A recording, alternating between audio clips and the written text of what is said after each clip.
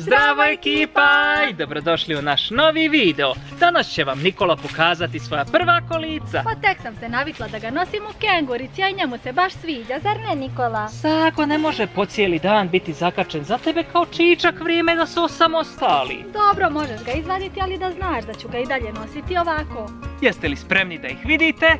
Taran taran! To su eye candy kolica. Nikola, da li ti se sviđaju?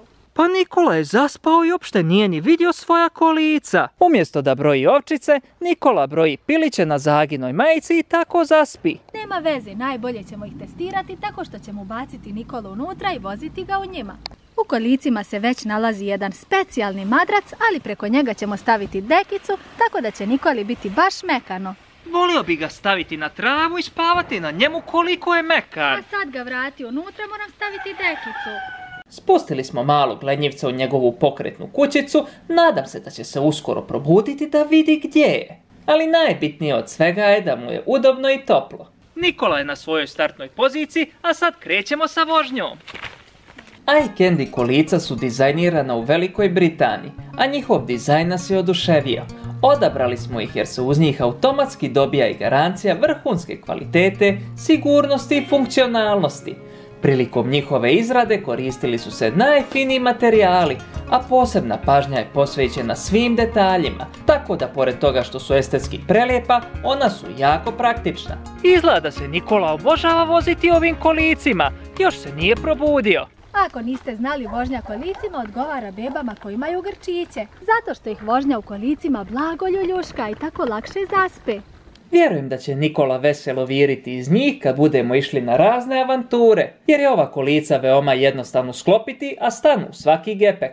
Ovaj dio je rasklopiv i možemo ga podići. Služi kao zaštita od sunca ili vjetra. A vjerovali ili ne, Nikola i to propustio jer sve vrijeme spava. A naravno, ako vani nije sunčano i vjetrovito, možete jednostavno ovaj dio spustiti nazad. Sa zadnje strane možemo podići ovaj srednji dio i tako dobijamo još jedan otvor koji je zaštićen mrežicom. Možemo ga spuštati i podizati po želji, a sad ću vam pokazati još nešto. Sa strane je refešlus koji samo treba da otvorimo i tako ćemo proširiti ovaj gornji dio. Evo sad je mnogo duži i pokriva veću površinu kolica. A super stvar je što kroz ovu mrežicu uvijek mogu viriti na Nikolu. Pa Zago, možeš viriti i sa ove strane. Imam čak dva prozorčića. A sad ću vam pokazati svoj omiljeni dio, to je držač za čaše. To je dodatak za kolica koji se može navrnuti na jednu stranu. Odlično, tu mogu držati svoju ananas čašicu. Ma kakvu ananas čašicu, držat ćemo flašicu sa vodom. Pa i ovdje se nalazi voda. O, dobro. O, Filipe, imaš sreće, moj ananas je predebeo. Pa već sam ti rekao da se tu stavlja flašica sa vodom. Evo vidiš. A pogledajte ko se upravo probudio. Nikola, vidim da viriš. Reci ekipi kako ti se svidjela vožnja. On je zauzet držanjem svoje cuce i samog sebe uspavljuje kao i uvijek. A super stvar je što ovdje imate jedan magični dugmić koji kad stisnete možete podešavati visinu ručke kolica. Meni najviše odgovara ova visina.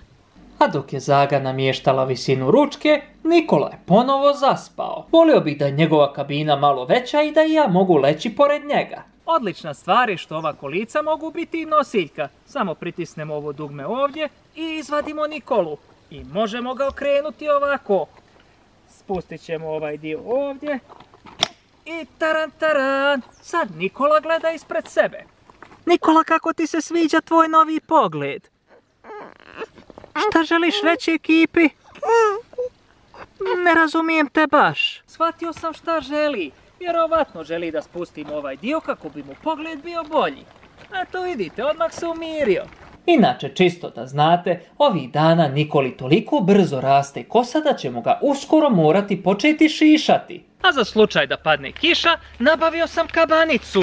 Trebam je samo ugrnuti i mogu ići sa kolicima gdje god poželim. Filipe, vrati tu kabanicu, to je prekrivač za kolica, ne za tebe. Dobro, izvoli. Super stvar je što jako lako i brzo možemo zaštititi naša kolica od kiše i snijega. Sa ove strane imamo rupice kroz koje ulazi vazduh kako bi Nikola imao što više kiseonika iako je prekriven. Tako da smo spremni za sve vremenske uslove. Pošto će ovaj prekrivač ostati na Nikolinim kolicima, Zaga i ja ćemo ipak sebi morati nabaviti kabanice. Jesen nam obrzo stiže, tako da ćemo ovaj dodatak sigurno često koristiti. Možemo voziti Nikolu ovim kolicima kroz sva godišnja doba. A ovdje imam još jedan koristan dodatak protiv kiše. To je kišobran, a može biti i suncobran. Konačno neki dodatak i za roditelje. Zago, mislim da je i ovo za Nikolu. Pa da, kad postanete roditelji, onda je sve za bebu. A sad ću vam pokazati gdje se ovaj suncobran ili kišobran postavlja. Prvo trebamo izvaditi čašu, a potom u ovaj dio ubaciti suncobran. Danas je toliko jako sunce da će ovaj kišobran postati suncobran. I evo ga, taran taran, sad se mogu sakriti ovako ispod njega. A možemo ga preusmjeravati u svim pravcima, zato što je ovdje jedan veliki feder. Tako da možemo natkriti Nikolu gdje god da se on nalazio. Ili se jednostavno mogu sakriti ovako od vas ekipa. A kad pogledamo sa ove strane, ovaj suncobran uopšte nije toliko malen. Sasvim je dovoljno velik da zaštiti kolica i Nikolu. Ali pošto je danas baš vruće, sklopit ćemo ovaj suncobran i skinuti preslaku, jer nema potrebe da ih danas nosimo sa sobom. Super stvar je što ova kolica možete zakočiti. Treba samo stati na ovu malu papučicu, pritisnuti je dole i kolica su zakočena. Kao što vidite ne mogu se ni pomjeriti. Upravo sam čuo da se neko unutra buni. To je naravno Nikola kojem ispala cucla. A pogledajte kako plazi jezik i pokušava je dohvatiti. Evo izvoli. Već sam ti sto puta pokazao kako sam da je držiš. Moraš već jednom to naučiti. E tako, sad možemo opet nastaviti uživati u vožnji. A pošto Zaga i ja obožavamo šetati prirodom, danas ćemo prepješačiti nekoliko kilometara. A uz kolica smo dobili i ovu sportsku sjedalicu koja se postavlja umjesto kabine. Tako kolica izgledaju još bolje. A postoje dva moda. Jedan je ovaj gdje je beba u sjedećem položaju, a možemo i spustiti ravno da leži. Ovaj dio isto možemo spustiti dole vrlo jednostavno, evo ovako, a možemo i natkriti bebu ukoliko pada kiša. I to je to ekipa. Ova kabina izgleda kao svemirski brod, a Nikolu ćemo staviti naprijed, tako će moći gledati ispred sebe i govoriti nam gdje želi da ga vozimo. E, ali gdje su Zaga i on? Ma Zago, odnesi Nikolu u kolica, on uopšte ne voli mirisati cvijeće. E pa voli, rekao mi je. A i Candy kolica vožnju za bebu čine besprijekornom, sigurnom i savršeno udobnom. Ako nas pitate koju ocjenu im dajemo od 1 do 10, sa zadovoljstvom im dajemo čistu desetku. A imaju samo jednu manu, a to je da se i mačke obožavaju voziti u njima. Pogledajte ovu ekipu. Ma izlazite odatle, zvrkane prestani gristi Nikolina kolica. Mico vidim i tebe. Ekipa izlazite van odmah. Sad ću morati usisati sve njihove dlake. Pogledajte kako se glupiraju. Ekipa, ovo je Nikolina prva vožnja, a ne vaša. Izlazite napolje. Inače, ova pregrada koja se nalazi odmah iznad točkova je odlična za odlaganje raznih stvari, poput pelena ili dječje garderobe, a veoma je čvrsta i prostrana. A sad Nikola može napokon nastaviti uživati u svojoj vožnji. O ne, opet Mice, gdje li je zvrkan? Pa naravno, evo i njega odmah iza. Njih dvoje se toliko vole družiti sa nama da nas prate gdje god da krenemo. A pošto ne možemo pobjeći od dosadne mice iz vrkana, morat ćemo donijeti našu auto sjedalicu i pobjeći od njih autom.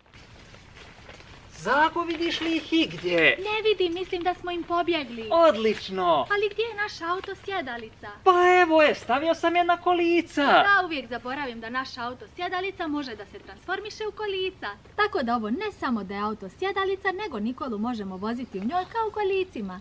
A posebno mi se sviđa njen dizajn, jako je kvalitetna, udobna i mekana, a i sviđa mi se ova siva boja. A iako je ovo auto sjedalica, Nikola se obožava ljuljati u njoj. Tako začas zaspi. A i toliko je praktična. Ako počne kišica ili je vjetrovito, možemo podići ovaj nastavak i zašuškati Nikolu. A ovako me podsjeća na neko magično svemirsko jaje. Pogledajte kako je zanimljiv ovaj materijal. Tin, tin, tin. Nikola, pa pričam ti svo vrijeme spavaš. Nikola ne samo da nije vidio svoja kolica, nego nije vidio ni auto sjedalicu, a mi sad moramo krenuti dok nas Mica i Zvrka nisu pronašli. Kod ove sjedalice mi se sviđa što sam je za manje od minute uspio postaviti u auto, tako da brzo možemo krenuti sa vožnjom. A odlikuje je i to što su svi njeni dijelovi pravljeni od vrhunskih materijala.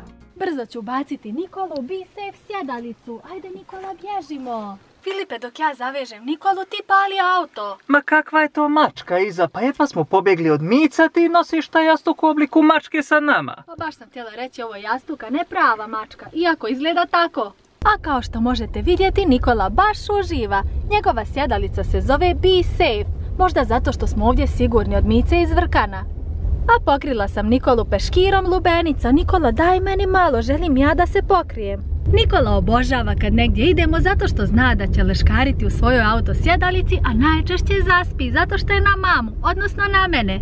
Zago, niko ne može oboriti tvoj rekord. Svi znaju da ti možeš zaspati bilo kad i bilo gdje u dvije sekunde. A ti vozi, molim te, gledaj pravo i ne prisluškuj mene i Nikolu. A da bi se Nikola mogao bilo gdje voziti sa mamom i tatom, potrebna nam je sigurna auto sjedalica. Be Safe auto sjedalica je dobila visoku ocjenu kada je sigurnost u pitanju, jer je unutra jako mekana i udobna, a svana čvrsta i otporna na udarce.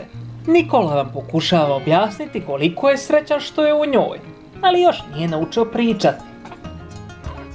I uspjeli smo pronaći savršeno mjesto za piknik i posmatranje zalaska sunca. A obećala sam da ću vam pokazati šta sam sve ponijela u ovoj košarici. Imam tu svoje boje, zatim čašu sa vodom. O Zago, hoćeš se već jednom odlučiti je li to čaša za vodu ili za crtanje? Pa dobro, nekad iz nje pijem, nekad slikam, što možda i nije najpametnija ideja.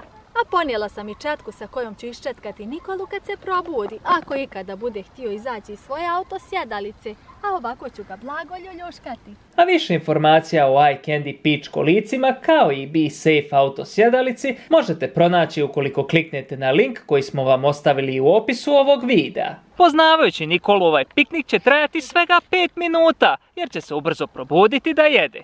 Eto ekipa, vidjeli ste kako je protekao današnji dan i kako je protekla Nikolina prva vožnja njegovim kolicima. Ako vam se svidio ovaj video, lajkujte ga i subscribeujte se na naš YouTube kanal, a mi se vidimo u nekom od sljedećih videa. Zdravo ekipa!